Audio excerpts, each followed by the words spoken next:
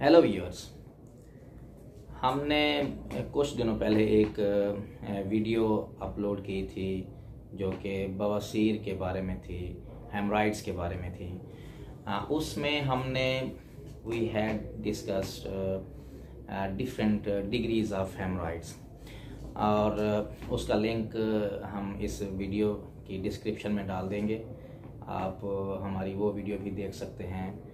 तो आज हम इस छोटी सी वीडियो में डिस्कस करेंगे कि वो जो डिग्रीज ऑफ़ हेमराइड्स थी, जो बवासीर की वो जो हमने चार टाइप्स डिस्कस की थी, उनकी ट्रीटमेंट क्या होनी चाहिए? किस टाइप की सर्जरी से ट्रीटमेंट पॉसिबल है? किस टाइप की सिर्फ़ मेडिकेशन से ही ट्रीटमेंट पॉसिबल होती है और कुछ में सिर्फ़ माइनर इंजेक्शन एक छोटा सा ऑपरेशन कह लें या छोटा सा एक इंजेक्शन हमने लगाना होता है तो उसके थ्रू पॉसिबल होता है। जैसा कि हमने बताया था कि हेमराइड्स जो होते हैं, जो बवासीर हैं, जो जो कि मौके बाहर निकल आते हैं, जिन पेशेंट्स में ये प्रॉब्लम होता है, उसमें ब्लीडिंग बहुत ज़्यादा होती है। पखाना करने के बाद ये ब्लीडिंग होती है। और इसकी जो पहली वैरायटी थी टाइप वन या फ़र्स्ट डिग्री हेमराइड्स वो ये थे कि मौके बाहर तो नहीं आते, पखाने वाली जगह के अंदर ही वो मौके बने हुए होते हैं, बाहर नहीं निकलते।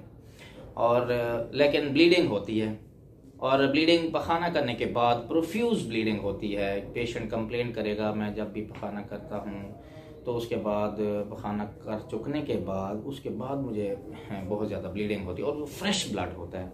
ये निशानी होती है कि ये बवासीर का खून होगा। अगर तो काला होगा तो वो फिर ऊपर से आ रहा होता है अंतड़ियों से आ रहा होता है। तो जो पहली वैरायटी हो गई, जो पहली डिग्री हो गई, उसका तो इलाज जनरल ट्रीटमेंट तो एक तो सबके लिए करनी है। इसमें जो फ़र्स्ट डिग्री हेमराइड्स की मेन ट्रीटमेंट होती है, वो हम करते हैं इंजेक्शन स्क्लेरोथेरेपी से। इंजेक्शन स्क्लेरोथेरेपी एक इंजेक्शन होता है जो कि जहाँ से मौके बढ़ना शुरू हो रहे होते हैं।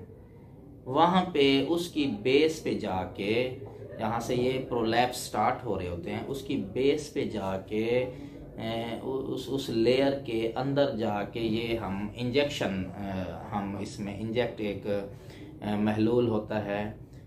जो कि फिनॉल होता है, वो फाइव परसेंट फिनॉल होता है, उसकी कंसनट्रेशन ये होती है। वो एलमंड ऑयल में हम मिक्स करके देते हैं।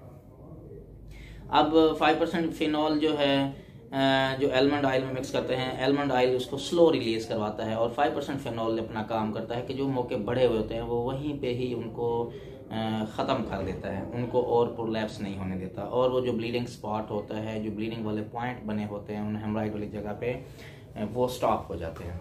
ये तो फ़र्स्ट डिग्री हेमराइड की। Second degree haemorrhoids first degree haemorrhoid का थोड़ा सा ये भी बताते जाएँ कि जनरल जो मैनेजमेंट होगी कि आपने बल्क फार्मर लेने हैं, यानी कि सब्जियों का इस्तेमाल ज़्यादा करना है, पानी का इस्तेमाल ज़्यादा करना है, कब्ज नहीं होने देनी है, और गोश्त का इस्तेमाल कम करना है, क्योंकि गोश्त अगर इस्तेमाल करेंगे तो वो हार्ड स्टूल सख्त पखाना बनेगा, सुद्दे से बन के बाहर निकलेंगे, वो फिर उस जगह पर रगड़ लगाएँगे और वहाँ से ब्लीडिंग होने के चांसेस होते हैं।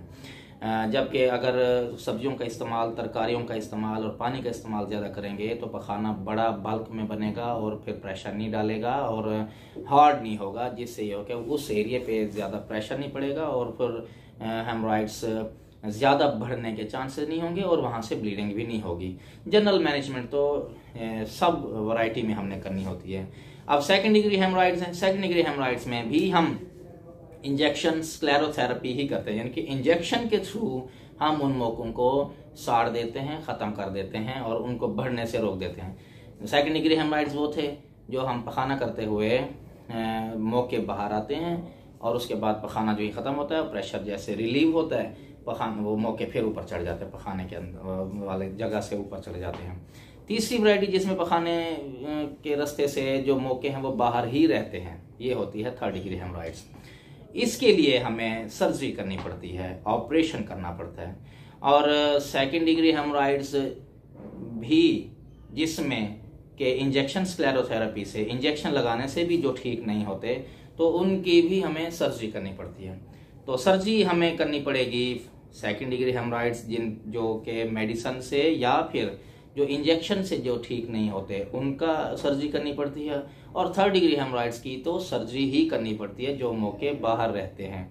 वो इंजेक्शन से ठीक नहीं होंगे और सिर्फ़ मेडिकेशन से भी ठीक नहीं होंगे। वक्तन फवक्तन ब्लीड होते रहेंगे। थर्ड डिग्री हेमराइड्स की भी हमें सर्जरी ही करनी पड़ती है, जिसको जो मेडिकल टर्म में बोलते हैं हेमराइडेक्टमी करते हैं। इसकी डिफरेंट वराइटीज़ होती हैं टाइप्स होती हैं। ओपन हेमराइडेक्टमी है, जो कि कॉमन होती है। कुछ कुछ होती है कि क्लोज करते हैं, उसमें टांके भी साथ लगा देते हैं, और उसका प्रॉब्लम ये होता है क्योंकि पखाने वाली जगह पे होता है तो यहाँ पे टांकों के साथ अगर जख्म को आप क्लोज करेंगे तो फिर वहाँ इन्फेक्शन होने के चांसेस होते हैं। प्रेफरेबली ओपन हेमराइडेक्टमी करते हैं। फिर एक वराइटी हेमराइडोपैक्सी भी है उसके थ्रू भी आप एक गन मिलती है, और उसके थ्रू भी आप सर्जरी कर सकते हैं हेमराइड्स की थर्ड डिग्री की। जो फोर्थ डिग्री हेमराइड्स हैं, क्योंकि वो बाहर निकले होते हैं प्लस उनमें कॉम्प्लिकेशन हुई होती है, वो अल्सरेट हुए होते हैं, अब वो जख्म बन चुके होते हैं और सूझ चुके होते हैं। उनकी सर्जरी एमरजेंसी में करना बहुत ज़रूरी होता है। बाज़ दफ़ा वो सूजे हुए इतने होते हैं कि आपको साथ हेमराइड्स की सर्जरी करने के साथ साथ जो इसके पखाने वाले रास्ते पे गोल तरह के जो पट्टे होते हैं इंटरनल एनल स्फिंक्टर उनको बोलते हैं, उन्हें भी हमें कट करना पड़ता है क्योंकि वो जब फूले हुए होते हैं तो वो इस इन पट्ठों की वजह से वो प्रेशर में आते हैं। तो हमें इसको पट्ठों को भी कट करके उस प्रेशर को भी रिलीव करना पड़ता है। तो ये मुख्तसर सा ओवरव्यू था कि हम इन जो मौके होते हैं जो बवासीर की एक वैरायटी है हेमराइड्स हैं इसकी डिग्रीज के हिसाब से क्या क्या ट्रीटमेंट करनी चाहिए और इसको कैसे मैनेज करना है। आ, इस हम नेक्स्ट इससे रिलेटेड और भी वीडियोस बनाएँगे। आपको इससे रिलेटेड कोई क्वेश्चंस हो तो आप हमसे कमेंट सेक्शन में आप हमसे पूछ सकते हैं। कोई भी क्वेरीज होती हैं तो we will get back to you thank you बहुत शुक्रिया।